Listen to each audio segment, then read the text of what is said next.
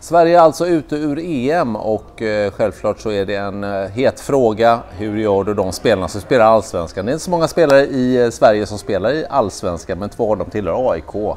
Hur het är den här frågan för dig idag Henrik och hur har du hanterat det innan EM spelades?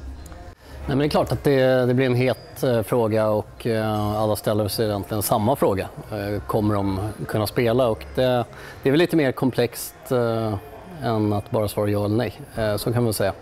Vi har väl under, eh, under hela EM-vistelsen egentligen haft dialogen med dem eh, såklart. Stämt av hur de mår och sådana saker.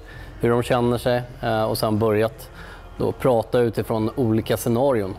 För det här upplägget på EM gjorde ju också att speldagarna det var inte 100% eh, säkert vilken dag de skulle och så fick vi jobba lite runt det. Så självklart har vi undersökt möjligheten också att eh, flytta fram matcher och, och sånt där. Men det är alltid, alltid svårt att säga om det är en bättre situation för oss eh, där och då.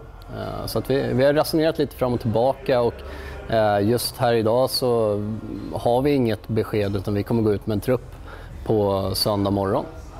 Eh, som vi naturligt alltid gör eh, kring matcher. Och så.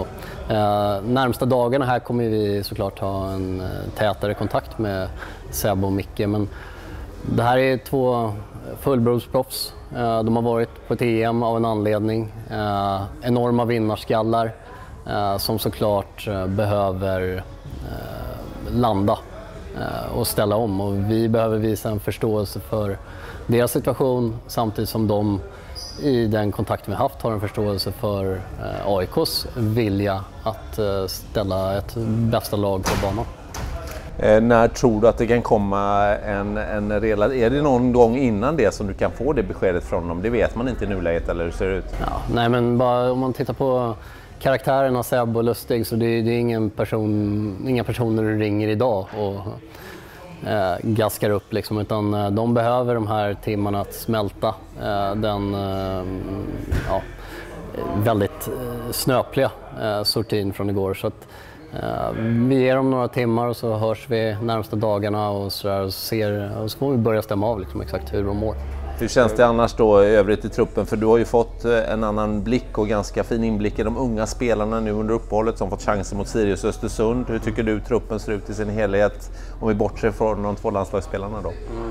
Nej, men det har varit lite upp och ner i prestationerna just om man tittar på träningsmatcherna kanske. Eh, där vi Eh, kanske inte har flugit fullt ut över 90 minuter men det finns delar som är bra som vi kan jobba vidare på. Jag tycker vi, vi är ganska trygga i eh, det arbete vi utför och vill nå eh, mål. Så att, eh, jag tycker vi ser fortsatt stabila ut och jag tycker att eh, vi har tränat på väldigt bra sedan eh, uppstarten. Okej. Eh, vi tar en sak i taget så hoppas vi att det går bra mot BK Häcken på söndag då. Oavsett om Seb och Micke är med eller inte. Exakt så.